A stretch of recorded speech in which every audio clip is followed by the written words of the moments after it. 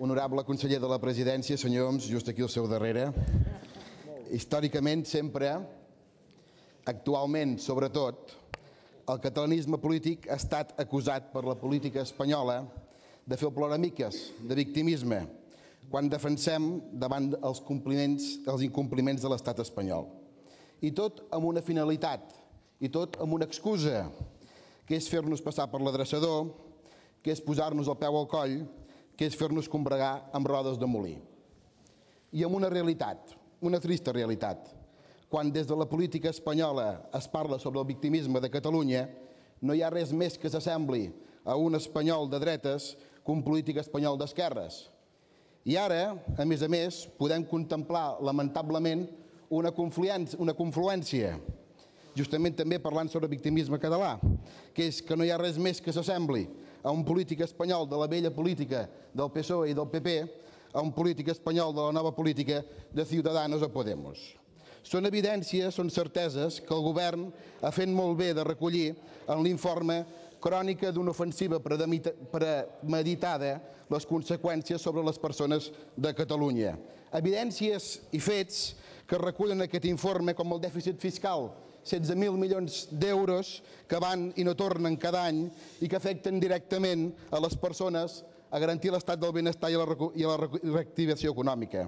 O la recentralització de les competències, on els Consells de Ministres cada divendres prenen decisions contra l'autonomia del govern de Catalunya o del món local. O contra l'incompliment reiterat d'infraestructures. Un moment, el que diu Andallà que marxi, eh? Sí, vigilin, eh? Vigilin.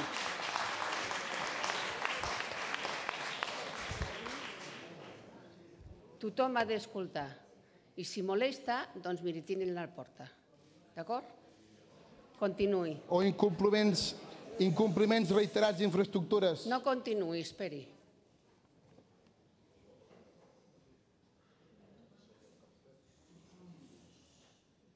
Ja pot continuar, senyor diputat. O incompliments reiterats d'infraestructures, i els de Tarragona ho sabem bé, com és el corredor del Mediterrani. O el no reconeixement del dret a decidir dels catalans i les catalanes. Hi ha polítics espanyols que s'emocionen més amb el referèndum de Grècia que no pas amb un possible referèndum per la independència a Catalunya.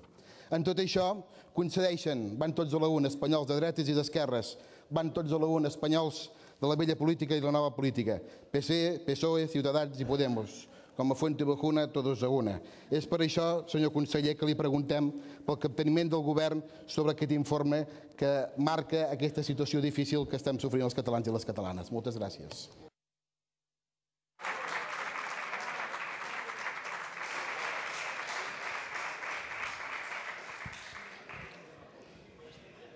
Estan aplaudint no les persones del públic, estan aplaudint els del seu grup.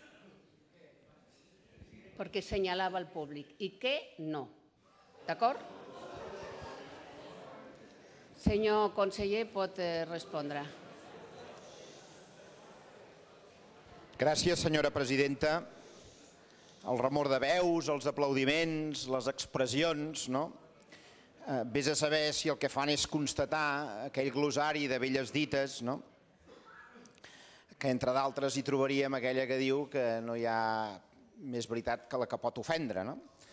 Eh, per tant, vés a saber. En qualsevol cas, ja que em preguntava, senyor diputat, doncs sobre, sobre aquest document, que val a dir que no és la primera vegada doncs, que posem sobre la taula raons i arguments sobre el que està passant i el que col·lectivament ens tenalla, per cert, absolutament a tots, no? els que tenen tantes ganes de resoldre coses en un sentit o en un altre, també. No?